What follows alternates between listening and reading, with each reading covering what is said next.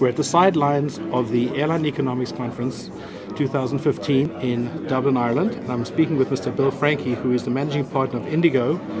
Mr. Franke, yesterday at the keynote, you gave a very interesting address at how airlines should not be seduced by the current low oil price. Could you give us some thoughts on that? Well, I mean, uh, management of, of any company, whether it's an airline or any industrial company for that matter, uh, tends to be focused on the short term. It's a it's a problem industry has in a large part.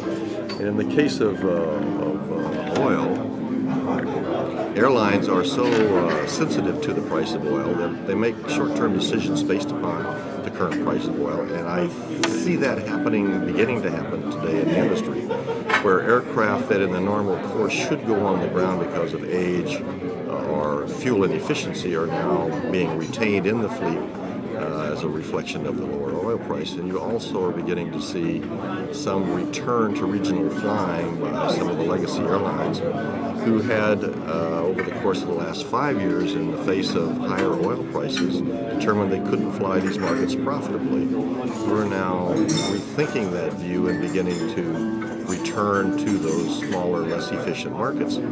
Those decisions will be uh, will come back to haunt the management teams uh, when oil price stabilizes at a, kind of a natural level, which is not $45 a barrel. So it's interesting you, you, the way you describe this. If you if you're running an airline as you do, mm-hmm. You're saying don't hold back on your next generation orders that, that you put in. Get them as fast as you can, or do you say push them back and enjoy the windfall a little longer? Yeah, I think I think you have to enjoy the windfall while you can. That said the order book of most of the manufacturers, whether it's Boeing or, or Airbus, taking those two, the order books are so full today that you have to be thoughtful about giving up on any position in those order books because it might be years before you can recover your, your delivery schedule.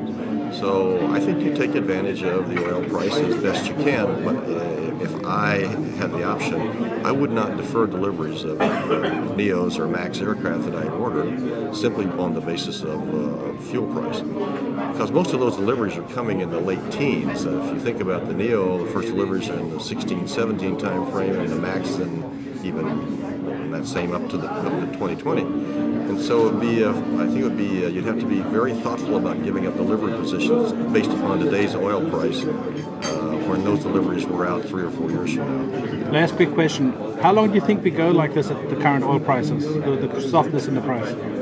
It, you know, anybody's guess. Uh, my own view is that the reason oil is uh, people talk about overproduction, uh, underconsumption, but I think the Chinese economy uh, and to some extent the, the uh, slowness in the European economy are major factors. And as those economies recover, I think you'll see a return to a, uh, a more traditional price of oil in the $80, $90 a barrel range. Thank you.